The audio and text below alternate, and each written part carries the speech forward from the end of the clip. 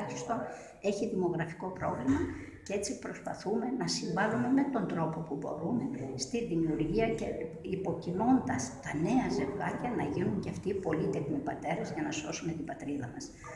Ε, σήμερα θα βραβεύσουμε δύο εξαιρετικούς πολύτεκνους πατέρες. Ο πρώτος είναι ο κύριος Καραγιάννης, είναι ακούραστος κήρυκας του Ευαγγελίου, ε, συνταξιούχος θεολόγος καθηγητής και ο δεύτερος είναι ο κύριος Διαμαντόπουλος Γιάννης, ο γιατρός, με ευτήρας γυναικολόγος, ο οποίος έχει και αυτός πέντε παιδιά.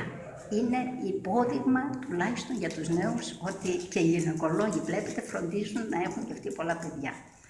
Ε, έχουμε αρκετό κόσμο, η εκδήλωσή μας ε, πιστεύω να τονώσει και να τονίσει τις αξίες αυτές της οικογενείας, του ρόλου του πατέρα, της μητέρας, των παιδιών, του παππού και της γιαγιάς.